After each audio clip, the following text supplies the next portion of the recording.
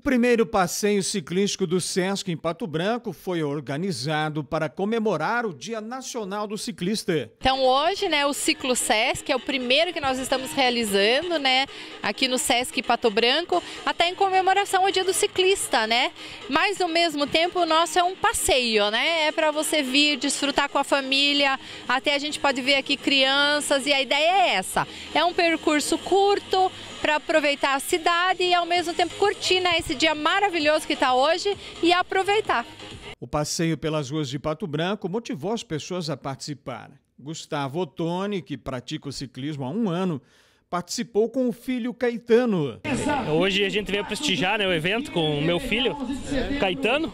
E primeiro de muitos aí que a gente vai participar. E, e que tipo de benefícios você acha assim que o ciclismo trouxe para ti? A questão de condicionamento físico, né? A saúde, né? Em primeiro lugar, né? Então é. É bacana pegar a bike e sair com os amigos. Sim, bacana. Paulo Fergutz destaca que esses eventos ajudam a divulgar o ciclismo como uma atividade de esporte e lazer. A gente aproveitou aqui para dar apoio ao SESC nesse, nesse pedal em comemoração ao Dia do Ciclista, Dia Nacional do Ciclista, que foi ontem né? E aí reunindo os ciclistas, principalmente as crianças, as famílias, né? Para começar nesse mundo da bike aí que atrai muitas pessoas, né? Nesse e o legal do ciclismo é isso, né? Dá para a família inteira praticar, né? Isso, é o que a gente sempre fala, né? O, o a bike, ela...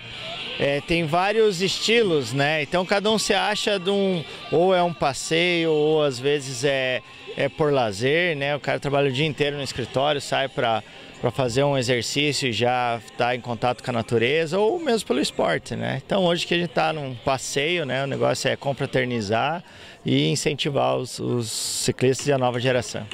O locutor especializado em ciclismo, André Timbula, viaja o Brasil participando de eventos de ciclismo, um dos esportes que mais cresce no Brasil. Exatamente. Hoje eu sempre falo que o esporte que mais cresce no Brasil e também no mundo é o ciclismo. E por que disso? Eu sempre falo que o ciclismo é o único esporte que ele proporciona algo que nenhum esporte tem, que é a superação individual, que é aquilo de você comprar sua bike, fazer 20, 30, 40, 100, 200 quilômetros, fazer as maratonas e que você quando faz, você sente aquela satisfação de dever cumprido e lógico, né? Você olha para trás e pensa, jamais eu achava que conseguiria fazer e eu realizei. Então o ciclismo hoje cresce também por causa disso. O Dia Nacional do Ciclista também é importante para promover o uso da bicicleta, um meio de transporte sustentável e viável.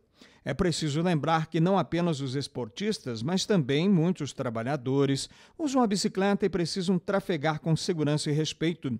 O Dia Nacional do Ciclista foi definido através de lei nacional em memória ao ciclista Pedro Davison de 25 anos, vítima do trânsito brasileiro, atropelado em 2006 enquanto pedalava na capital federal.